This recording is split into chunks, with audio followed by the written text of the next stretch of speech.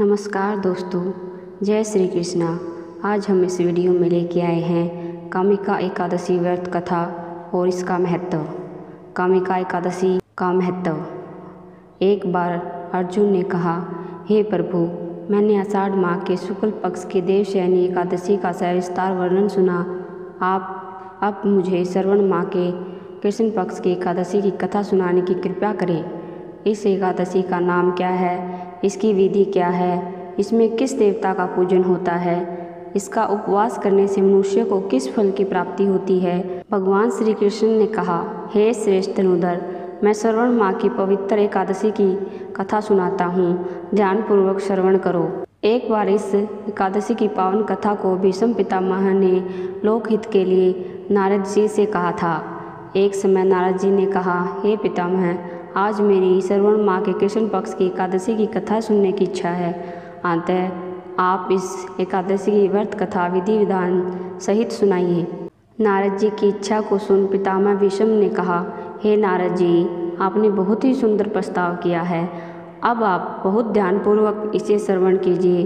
श्रवण माँ के कृष्ण पक्ष की एकादशी का नाम कामिका एकादशी है। इस एकादशी की कथा सुनने मात्र से ही वाजपेयी यज्ञ की फल की प्राप्ति होती है। कामिका एकादशी के उपवास में शंकर, चक्र, गदाधारी भगवान विष्णु का पूजन होता है। जो मनुष्य इस एकादशी को धूप, दीप, नैवेद्य आदि से भगवान विष्णु की पूजा करते हैं, उन्हें गंगा स्नान के फल से भी उत्तम फल की प्राप्ति होती है। सूर्य ग्रहण और चंद्र ग्रहण में केदार और कुरुक्षेत्र में स्नान करने से जिस पुण्य की प्राप्ति होती है वह पुण्य कामिका एकादशी के दिन भगवान विष्णु की भक्तिपूर्वक पूजा करने से प्राप्त हो जाता है। भगवान विष्णु की श्रावण माह में भक्तिपूर्वक पूजा करने का फल समुन्दर और वन सहित पृथ्वी दान करने के फल से भी ज़्यादा है। संसार में भगवान की पूजा का फल सबसे ज़्यादा है। अतः भक्तिपूर्वक भगवान की पूजा न बन पाए, श्रवण माँ के कृष्ण पक्ष की कामिका एकादशी का उपवास करना चाहिए। आभूषणों से युक्त बछड़ा सहित गोदान करने से जो फल प्राप्त होता है, वह फल कामिका एकादशी के उपवास से मिल जाता है।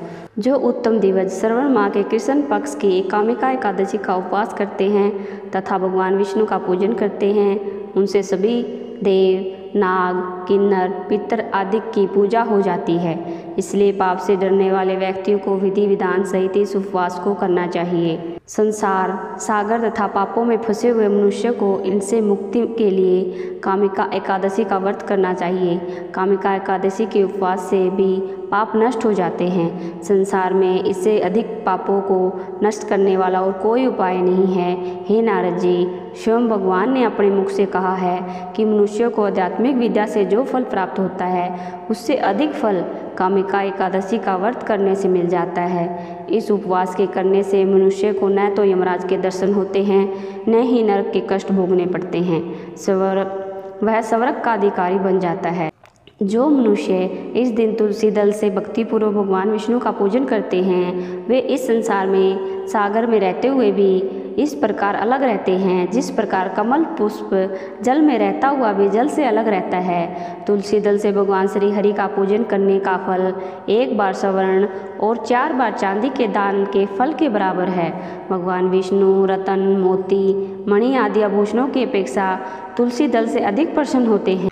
जो मनुष्य प्रभु का तुलसी दल से पूजन करते हैं। उनके सभी पाप नष्ट हो जाते हैं। हे नारद जी, मैं भगवान की अति प्रिय श्री तुलसी जी को प्रणाम करता हूँ। तुलसी जी के दर्शन मात्र से मनुष्य के सभी पाप नष्ट हो जाते हैं और शरीर के स्पर्श मात्र से मनुष्य पवित्र हो जाता है। तुलसी जी को जल से स्नान कराने से मनुष्य की सभी यम यात्राएँ नष्ट हो जाती हैं, जो मनुष्य तुलसी जी को भक्तिपूर्वक भगवान के श्री चरण कमलों में अर्पित करता है उसे मुक्ति मिलती है। इस कामिका एकादशी की रात्रि को जो मनुष्य जागरण करते हैं, दीप दान करते हैं, उनके पुण्यों को लिखने में चित्रगुप्त भी असमर्थ है। एकादशी के दिन जो मनुष्य भगवान के सामने दीपक जलाते हैं, उनके पितर सर्वलोक में अमृत पान करते हैं। भगवान के सामने जो मनुष्य घी या तिल के तेल का दीपक जलाते हैं। उनको सूर्य लोक में भी सहस्त्रों दीपकों का प्रकाशन मिलता है। कामिका एकादशी व्रत कथा। एक गाँव में एक वीर क्षत्रिय रहता था। एक दिन किसी कारणवश उसकी ब्राह्मण से हाथापाई हो गई। ब्राह्मण की मृत्यु हो गई। अपने हाथों से मारे गए ब्राह्मण की क्रिया उस क्षत्रिय ने करनी चाहिए। परंतु पंडितों ने उसे क्रिया में शामिल होने से मना कर दिया। ब्राह्मणों ने बताया कि तुम पर ब्रह्म हत्या का दोष है। पहले प्रायश्चित कर इस पाप से मुक्त हो, तब हम तुम्हारे घर भोजन करेंगे। इस पर स्त्री ने पूछा कि इस पाप से मुक्त होने के क्या उपाय हैं? तो ब्राह्मणों ने बताया कि श्रवण माँ के कृष्ण पक्ष के एकादशी को भक्ति भाव से भगवान श्रीधर का व्रत कर पूजन कर ब्राह्मणों को भोजन करा के सह दक्षिणा के साथ आशीर्वाद प्राप्त करने से इस पाप से मुक्ति मिलेगी। पंडितों के बताए हुए तरीके पर व्रत करने वाली रात में ही भगवान श्रीधर ने स्त्री को दर्शन देकर कहा कि तुम्हें ब्रह्म हत्या के पाप से मुक्ति मिल गई है।